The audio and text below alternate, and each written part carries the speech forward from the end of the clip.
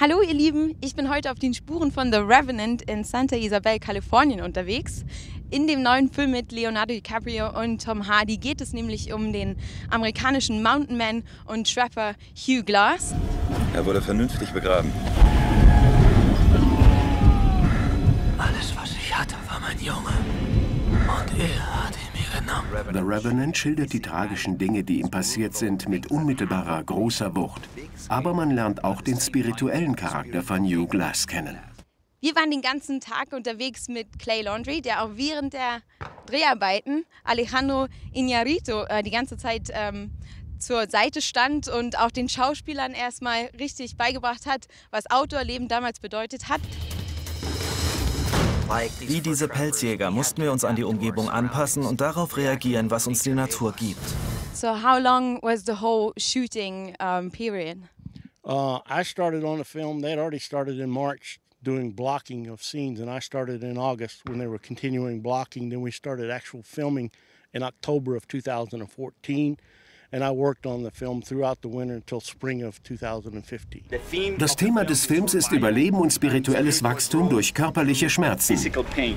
Er sagte, ihr werdet Schmerzen haben, geplant, und das möchte ich filmen. Das gehörte zu den Dingen, die Alejandro für uns bereithielt, um es zu einer eindringlichen Erfahrung zu machen. Quite of the stuff is quite dangerous, like throwing tomahawks or, you know, firing with these like old rifles and everything. Was, were there any injuries during the whole time? There was no injuries as far as I know. We had one um, Native American uh, extra that fell off a horse and had some bruises, but other than that, there was no other injuries that I know of. Das waren unglaublich harte, widerstandsfähige Männer, die den Elementen genauso ausgeliefert waren wie jedes andere Tier in der Wildnis. Wir bestiegen einen Berg bei minus 20 Grad. Aus der Sicht eines Schauspielers gibt es nichts Besseres. So what was your favorite anecdote of the whole shooting? That's a real good question. My favorite anecdote, I think, being a, a, a wilderness guy that takes horses and mules into the wilderness, was when the Wranglers eh, were able to put a mule on the keel boat and go down the river with a mule on a keel boat. That's a pretty fantastic thing to get an animal like that to do.